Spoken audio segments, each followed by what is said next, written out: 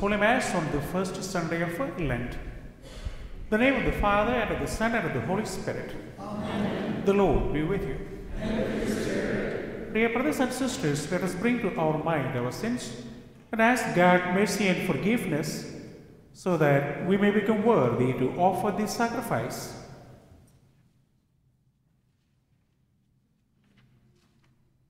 I confess to Almighty God, to you, my brothers and sisters, that I have greatly sinned in my thoughts and in my words, in what I have done and what I have failed to do. Through my fault, through my fault, through my most grievous fault. Therefore I ask Blessed Mary, our Virgin, all the angels and saints, and you, my brothers and sisters, to pray for me to the Lord our God.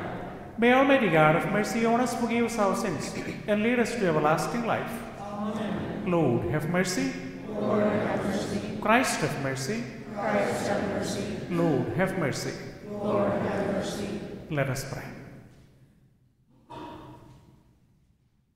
Grant Almighty God, through the yearly observance of Holy Lent, that we may grow in understanding of the riches hidden in Christ and be worthy conduct pursue their effects. Through our Lord Jesus Christ, your Son, who lives and reigns with you in the unity of the Holy Spirit, God forever and ever. Amen.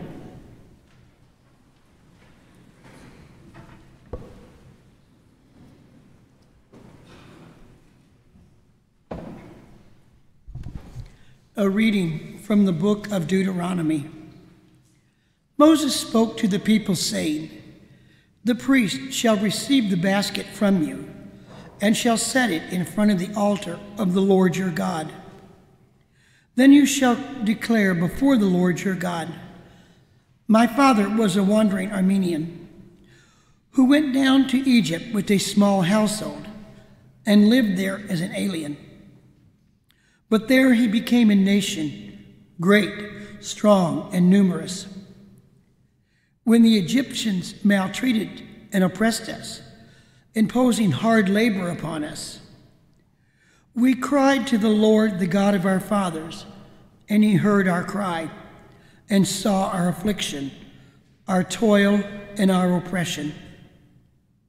He brought us out of Egypt with his strong hand and outstretched arm with terrifying power, with signs and wonders.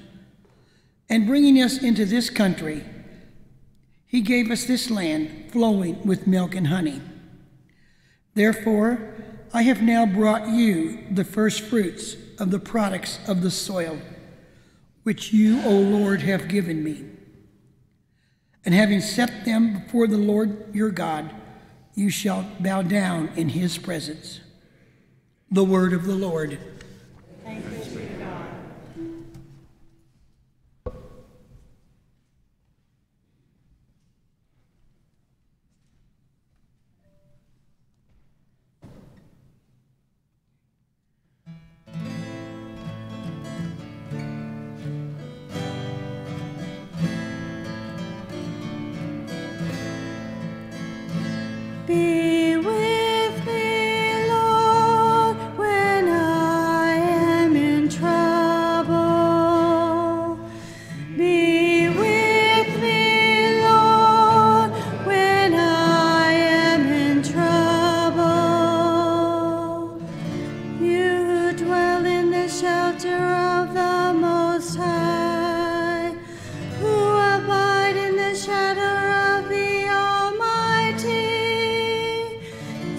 To the Lord,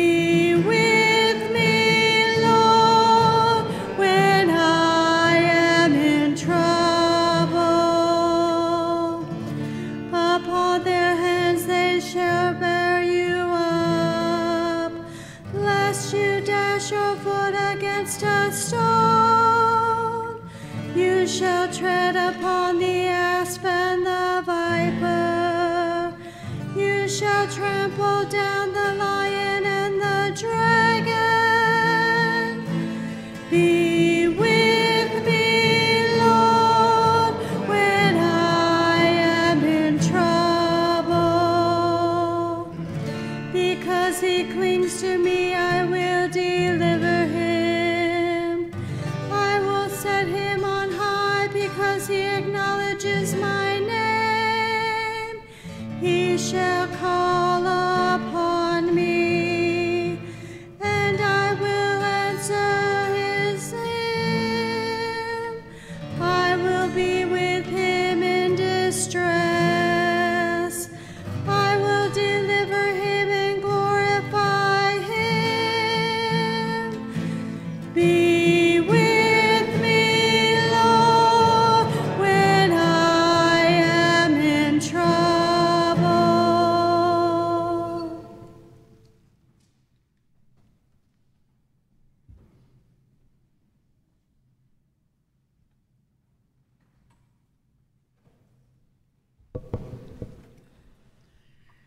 A reading from the first letter of St. Paul to the Romans. Brothers and sisters, what does Scripture say? The word is near you, in your mouth and in your heart. That is, the word of faith that we preach.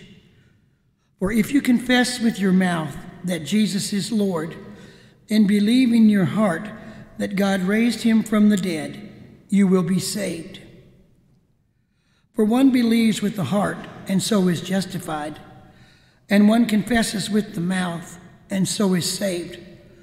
For the scripture says, No one who believes in him will be put to shame. For there is no distinction between Jew and Greek. The same Lord is Lord of all, enriching all who call upon him. For everyone who calls upon the name of the Lord will be saved. The word of the Lord. Thanks be to God.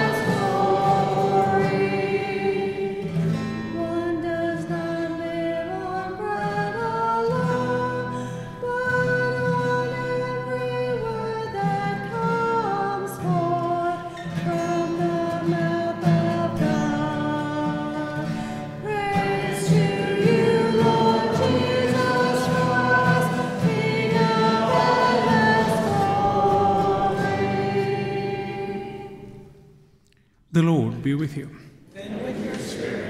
A reading from the Holy Gospel according to Luke. Filled with the Holy Spirit, Jesus returned from Jordan and was led by the Spirit into the desert for forty days to be tempted by the devil. He ate nothing during those days, and when they were over, he was hungry. The devil said to him, if you are the Son of God, command that this stone to become bread. Jesus answered him, It is written, One does not live on bread alone. Then he took him up and showed him all the kingdoms of the world in a single instant. The devil said to him, I shall give to you all this power and glory, for it has been handed over to me and I may give it to whomever I wish. All this will be yours if you worship me. Jesus said to him in reply, It is written, You shall worship the Lord your God, and him alone shall you serve. Then he led him to Jerusalem, made him stand on the parapet of the temple, and said to him, If you are the Son of God, throw yourself down from here, for it is written, He will command his angels concerning you to guard you, and with their hands they will support you, lest you dash your foot against a stone. Jesus said to him in reply, It also says, You shall not put the Lord your God to the test. When the devil had finished every temptation, he departed from him for a time. The Gospel of the Lord. Praise to you, Lord Jesus Christ.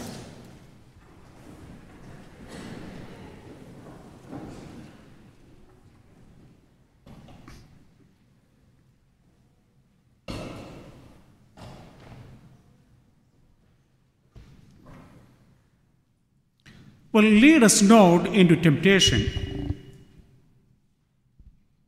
Do you remember where that happens? Lead us not into temptation. Do we say that sometimes, somewhere? Huh? Oh, wonderful, yes. That's the part of our Father, right? Prayer. Lead us not into temptation.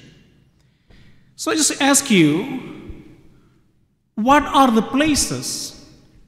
Or do you have temptation in every place? What are the times or the conditions for temptation? Are there any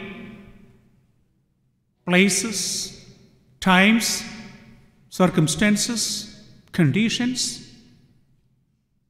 Or can there be temptation anywhere, everywhere? Let's see some of the options that we have in our uh, church understanding or the biblical understanding. Do you think there can be temptation in heaven?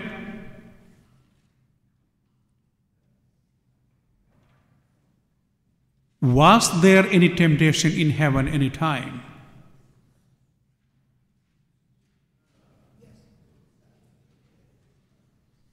Yeah, there was one big one, right?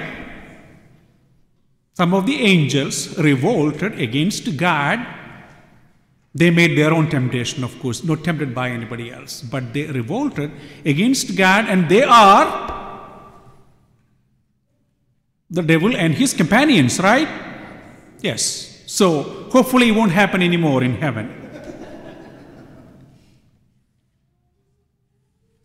Can there be temptation? Of course, you know, those angels, they had everything.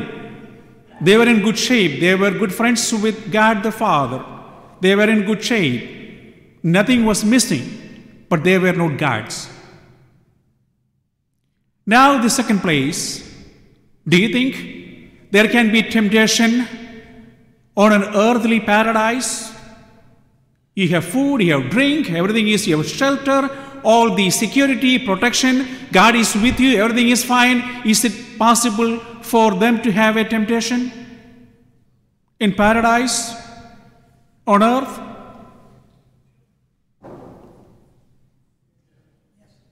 It happened, of course, right? The Garden of Eden, yes, it was paradise. God the Father was with those people all the time.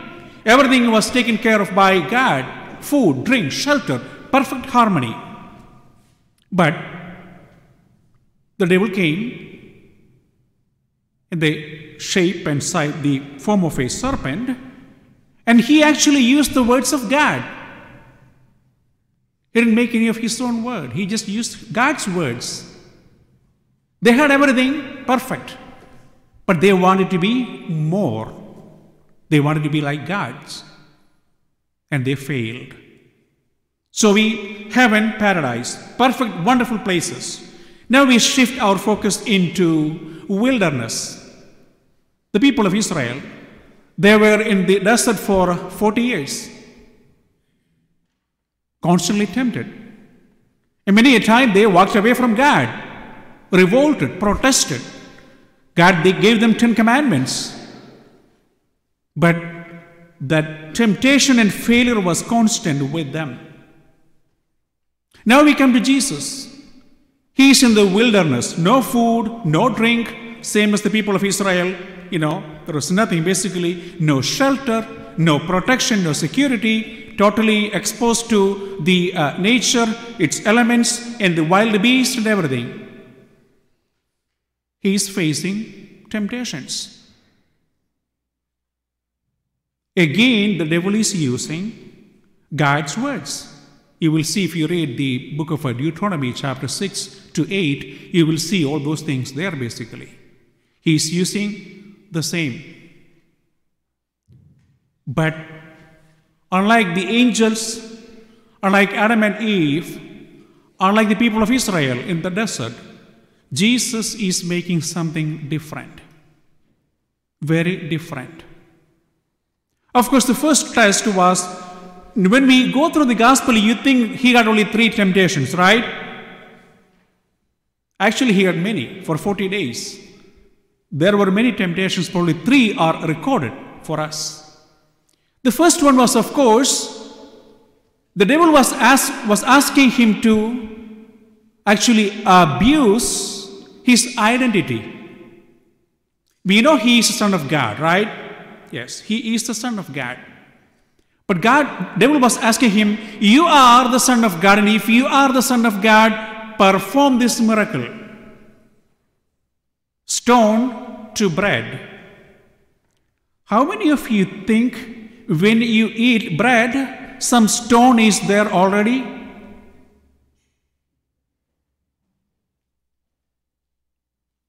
Stone becomes dust. Dust becomes dirt. Dirt is where you plant wheat. And then that's the the wheat plant takes all the nutrients from. So stone takes a long time, long process. Devil was asking Jesus, hey, make it. No process, no time, nothing. Make it. You are, if you are, you can do it. Abuse your identity. You are the Son of God. You can do it, do it. The second one, of course, asking him the abuse of power and authority. The devil had no power and authority actually, but he thought he had. And he was telling Jesus, Well, if you are, if you worship me, I will give you all that power and authority. The abuse of power and authority. Jesus knew who he was. Jesus knew the devil had no power and authority over him. But he tried to make him a king. Of course, the third one was the abuse of trust. Devil says, if you are the Son of God, jump from here. And if He is your Father, He will take care of you. Abuse of trust. Of course, Jesus uses the same Bible words of His Father against Him. Now we go through this uh, Lenten practice. How many of you think on a daily basis you are tempted? You don't have to raise your hand, okay? You don't have to raise your hands. Because all these, the abuse of identity, who we are, what we do, our status in uh, our life, that can be, we, we may have temptations to abuse that. In our own ways, different ways, we have our own power and authority. And there can be temptations to abuse that power and authority that we have in different ways. And we know that God loves us.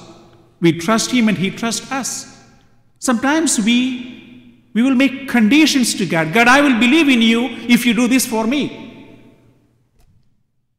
I will trust in you if you show this sign or whatever.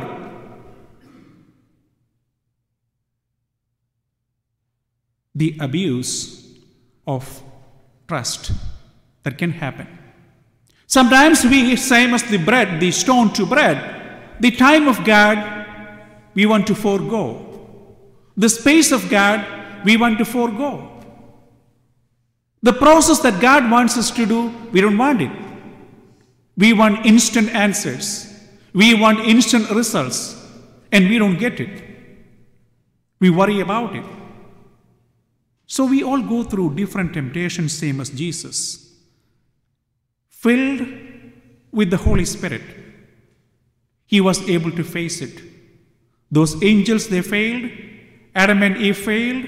The people of Israel in the desert failed. But Jesus, because he was filled with the power of the Holy Spirit, he was able to use the same words of God he was able to use the wisdom of his father to face those challenges. When we are exposed, again, in any place, there can be temptations of whatever kind, way more than we can imagine. He is reminding us in this time of Lent to be filled with the power of the Holy Spirit. It's always with us. But be aware of that. And when we are tempted, make use of the power of the Spirit that is already in you.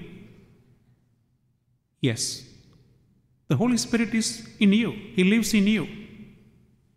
Make sure that be aware of it and use that power when we are tempted. You cannot run away from temptations, but with the power of God, same as Jesus, you can succeed them.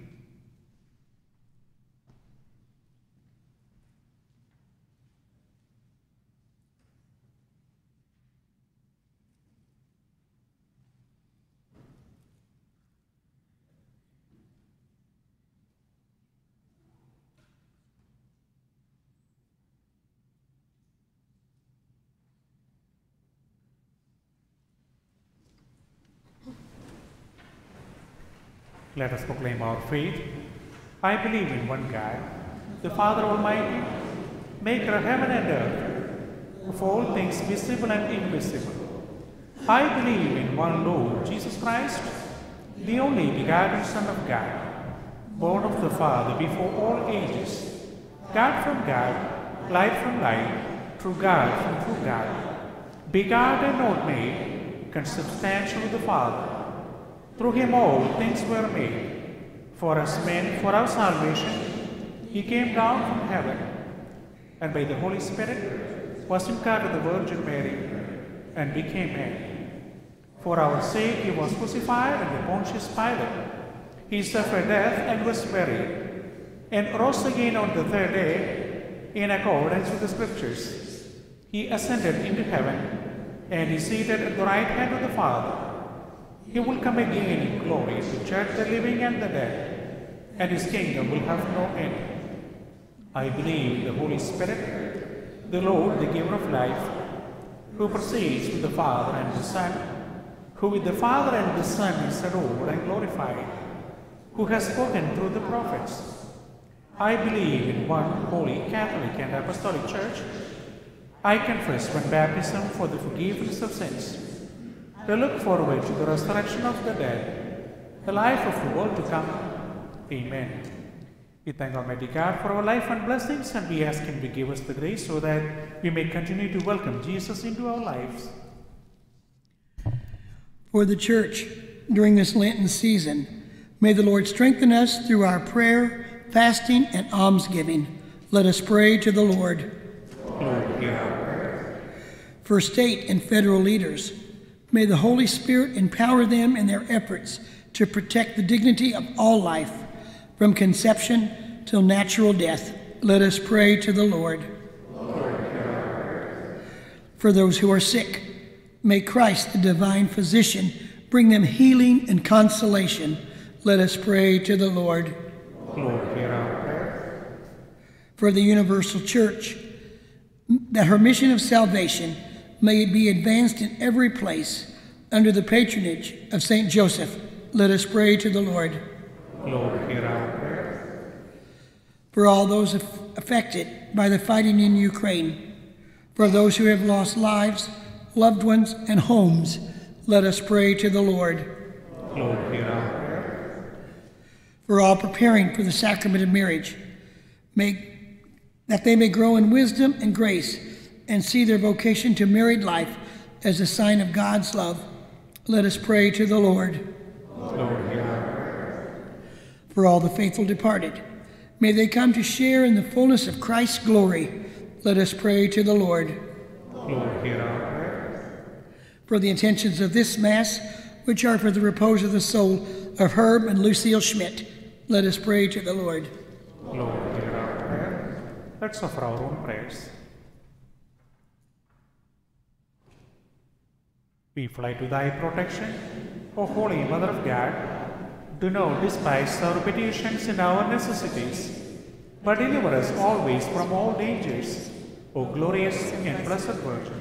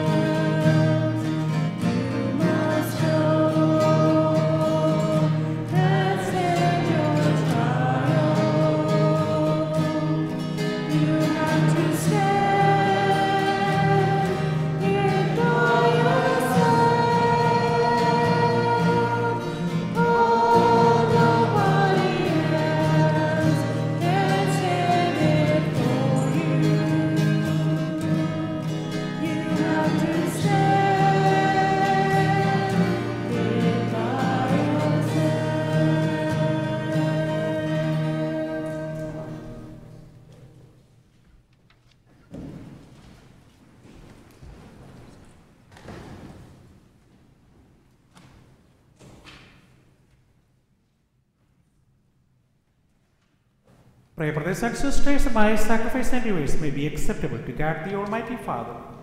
Accept the sacrifice at your hands for the praise and glory of his name, for our good and all his holy church.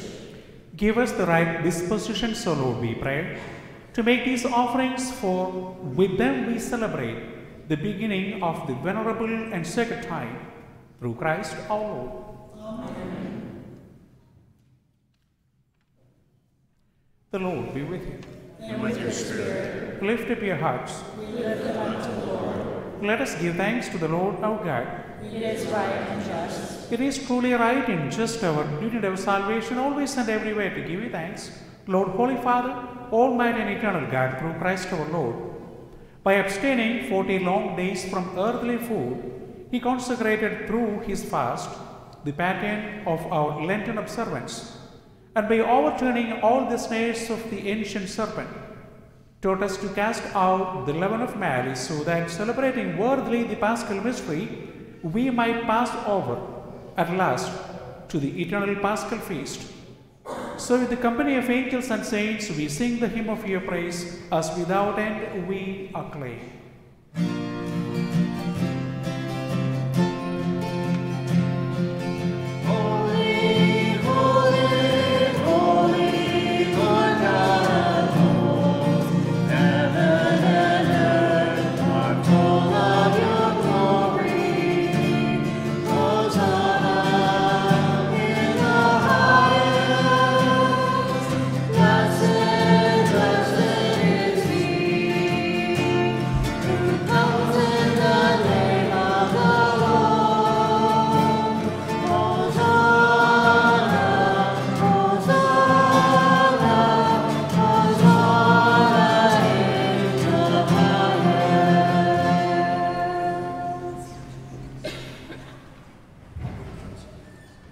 You are indeed holy, Lord, the fount of all holiness.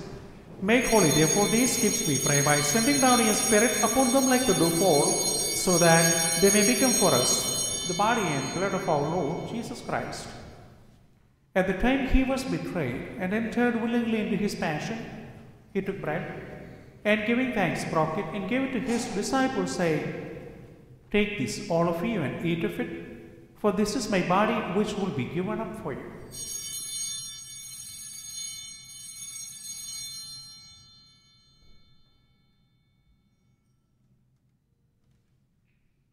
In a similar way, when supper was ended, he took the chalice and once more, giving thanks, he gave it to his disciples, saying, Take this, all of you, and drink from it, for this is the chalice of my blood, the blood of the new and eternal covenant, which will be poured out for you and for many for the forgiveness of sins. Do this in memory of me.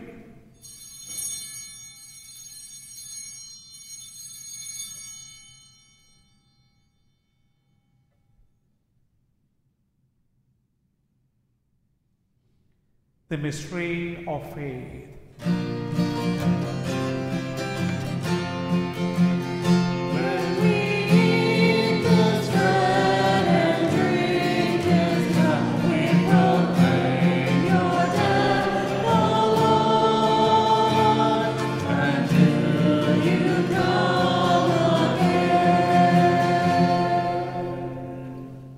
Therefore, as we celebrate the memorial of his death and resurrection, we offer you, Lord, the bread of life and the chalice of salvation, giving thanks that you held us worthy to be in your presence and minister to you.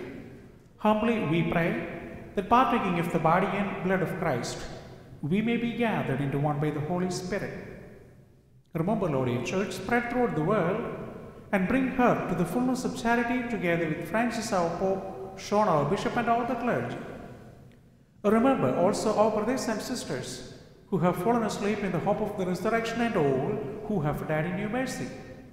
Welcome them into the light of your face.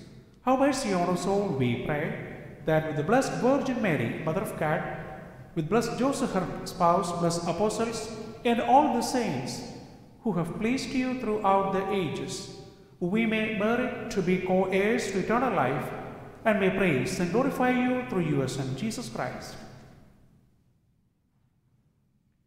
Through him and with him and in him, O God, Almighty Father, in the unity of the Holy Spirit, all glory and honor is yours forever and ever.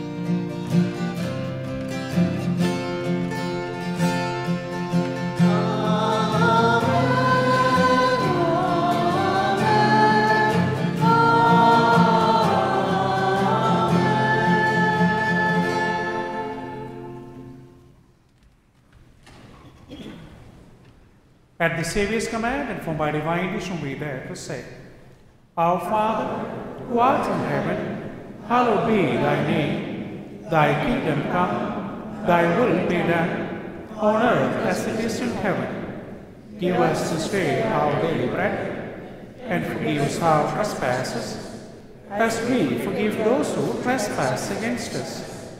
And lead us not into temptation, but deliver us from evil. Deliver us, Lord, we pray from every evil. Graciously grant peace in our days, that by the help of your mercy we may be always free from sin and safe from all distress, as we await the blessed hope and the coming of our Savior Jesus Christ. For the kingdom and the power and the glory are yours, now and forever. Lord Jesus Christ, who said to the apostles, Peace, I leave you my peace I give you. Look not on our sins, but on the faith of your church, and graciously grant her peace and unity in accordance with your will, who live and reign forever and ever. Amen. The peace of the Lord be with you always. And with your spirit. Let us offer each other a sign of peace.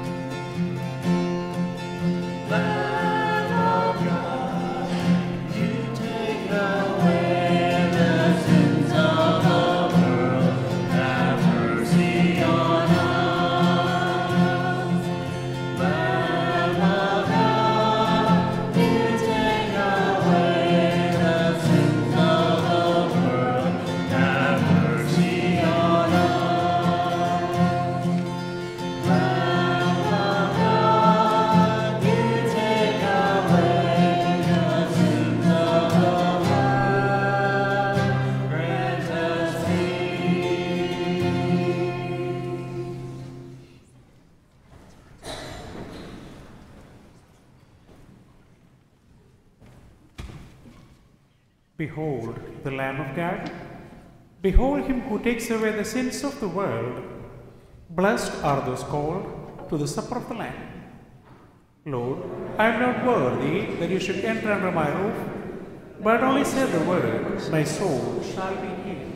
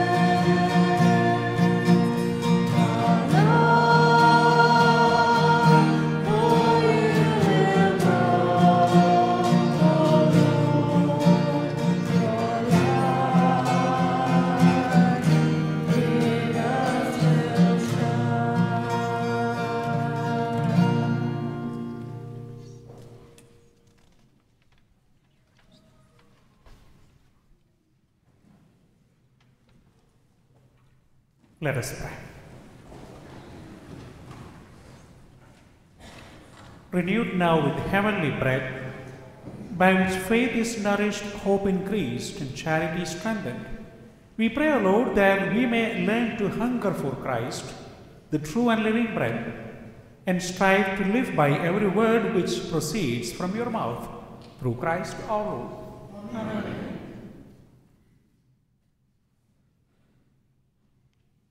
Well, volunteers uh, needed to lead the stations of the cross, and uh, please uh, call Bree Ebers if you would like to be a volunteer to lead the stations.